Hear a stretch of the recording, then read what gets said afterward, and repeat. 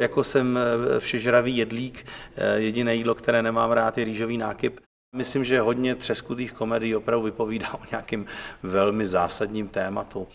Krásně, krásně. Já když eh, vlastně jsem dostal teď tu nabídku eh, od eh, pana Dejáka tady, tady zkoušet, od vedení divadla, tak vlastně mi blesklo hlavou, no to je 20 let, co jsem tady pracoval naposled, takže nepřišlo mi to, že je to tak dávno. A, a moc mě to potěšilo, jsem tady znovu rád. Dojali mě dvě věci, když jsem přišel sem na jeviště. Každé divadlo má svou vůni. Eh, myslím, že pracoval jsem v mnoha českých divadlech a, a myslím, že vůně některých z nich bych mohl identifikovat. Tak mě potěšilo, že vůně Vinohradského divadla je stále stejná. Druhá věc, která mě potěšila na první zkoušce, eh, když jsem dostal kafe z rekvizitárny, tak mělo stejnou chuť. Takže, takže jsem se úplně tím vrátil. Omládl jsem o 20 let. Je to krásná hra, sám autor říká, že to je tragikomedie. Eh, napsali Tracy Letts, skvělý eh, americký autor, žijící. A ta hra se jmenuje Srpen v zemi indiánů, v originále August Osage County. A pro, pro mě a pro, pro nás vůbec, pro dramaturgii divadla, považujeme to za jednu vlastně z nejlepších současných her posledních desetiletí, která neuvěřitelným způsobem navazuje na to nejlepší, co eh, v americké dramatice vůbec bylo napsáno na O'Neilla, Tennesseeho Williamse, Artura Millera, Edwarda Olbyho.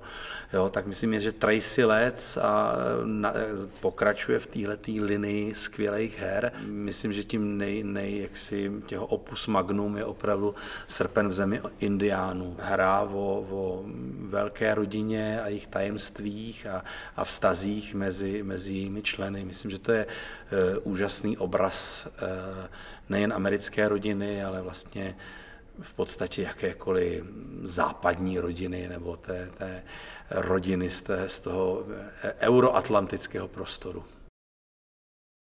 No tak ty přípravy de facto začaly už tím, eh, tím momentem, kdy, kdy jsem byl osloven divadlem na Vinohradech, no vedením divadla na Vinohradech, kdy jsme vlastně začali eh, vybírat hru, bavili jsme se o, o, o té hře, o textu, těch variant bylo několik, ale samozřejmě ve chvilku, kdy, ta, kdy ten titul jak si byl položen na stůl, tak okamžitě eh, režisér musí uvažovat o tom, jak by to dělal a kudy by do toho šel a jestli je to vhodné pro ten soubor a jak by to eh, tím souborem obsadil, takže mm, de facto, de facto ta práce začala v tu chvilku, kdy jsem, kdy jsem byl osloven, no, takže to je před, před více než rokem.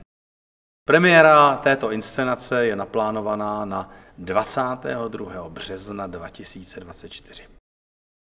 Ehm, já na sebe musím přiznat, že jsem takový divadelní všežravec. Já vlastně mě baví široký spektrum žánrů. Mě baví eh, třeskuté komedie, konverzační komedie, eh, mě baví vymýšlet eh, zejména s kolegou dramaturgem Jirkou Janku nové texty, autorské texty, baví nás dramatizovat různé předlohy, zároveň mě baví prostě dělat vážná dramata, velmi vážná dramata. Baví mě dělat klasiku, ať už Shakespeareovskou nebo jakoukoliv jinou. Takže já musím říct, že, že vlastně mě chutná leda, ledacos. A e, jako, jako jsem e, všežravý jedlík, e, jediné jídlo, které nemám rád, je rýžový nákyp, takže vlastně to bych na prstech jedné ruky asi spočítal žánry, které mě tolik třeba nebaví. Divadlo je především o, to, o tom sdílet témata. E, a je v zásadě jedno, jestli je to, té, jak, jestli je to žánrem komediálním nebo nekomediálním nebo tragikomickým. E, samozřejmě mm, vážné věci z pravidla vážněji hovoří o, o tématech, která jsou v té které době zásadní a, a důležitá a e, možná se dostanou hloub pod kůži, nevím, těžko říct, ale myslím, že to je zásadní jít po tématu a e, může se stát u komedie, že ta komedie prostě e, občas jde jenom po povrchu nebo je to jenom nějaký žánrový obrázek. Takové komedie úplně neoblibuji, e, a, ale myslím, že hodně třeskutých komedií opravdu vypovídá o nějakým velmi zásadním tématu. No, ale myslím si, že, že prostě dělat eh, vážné hry je chlebem, chlebem a solí každého divadla a je zásadní je dělat, protože z pravidla to bývají ty, ty nejlepší hry.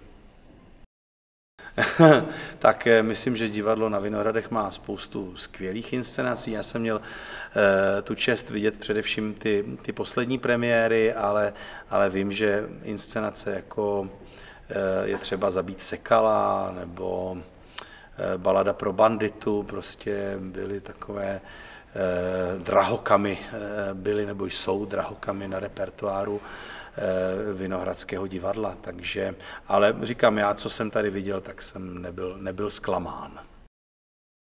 Přijďte na Srpen v zemi Indiánů. Myslím, že je to skvělá hra a skvěle obsazená a myslím, že bude zážitek eh, sledovat herce při tom, když budou tuhle hru na jevišti hrát. Doufám, že vás tím pobavíme a zasáhneme.